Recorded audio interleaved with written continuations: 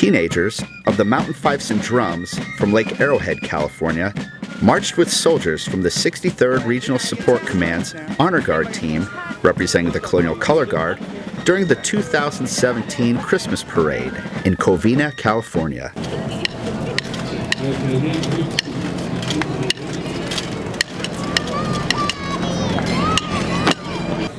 Um, we are a volunteer program. Uh, we range from 10 to 18 years old and we perform at various performances on, in Southern California and even as far as Virginia. The soldiers and musicians joined forces during the parade to give a historical perspective to the public how a soldier or potential soldier can perform their job duties and serve their country, aside from shooting a rifle. This can be used as a good recruiting tool. We are active reserve um, drilling soldiers, so we have job specialties that we're a part of. We perform those duties as well as being a part of Team Valkyrie. You still have multiple opportunities to perform your duties and serve your country. Historically, a fife and drum corps was a musical ensemble that consisted of flutes, or fifes, and drums. These ensembles originated as a type of military field music.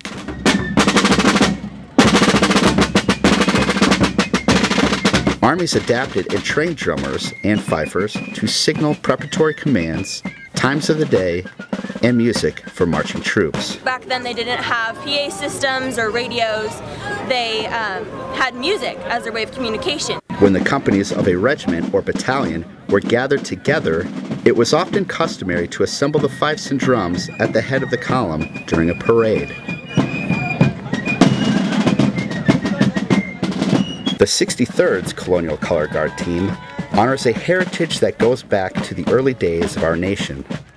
Representing soldiers of the 3rd Infantry Regiment, nicknamed the Old Guard, the Colonial Color Guard's primary mission is to conduct ceremonies.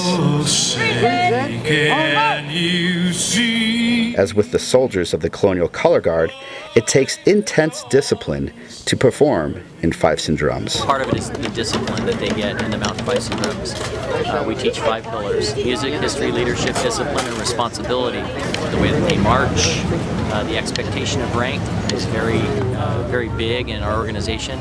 The training these teenagers receive from this marching corps helps prepare them for military service for those who choose to enlist. Several that have moved on to different branches of the armed forces, including the Army. We have um, one of our bass drummers who's stationed in Germany right now in the Army. And we have a couple more who are not graduated high school yet who are planning on going into the Army. By performing with these young musicians, the soldiers from the 63rd Regional Support Command hope to possibly inspire them to join the Army someday. Reporting from Covina, California, I'm Army Sergeant Chris Wright.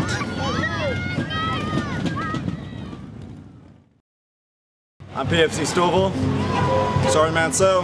I'm Sergeant Murray. And I'm Specialist Ghazi. And we're with the 63rd Regional Support Command Colonial Honor Guard. I can't do it. He's gonna do it. He's gonna do it. I'm sorry.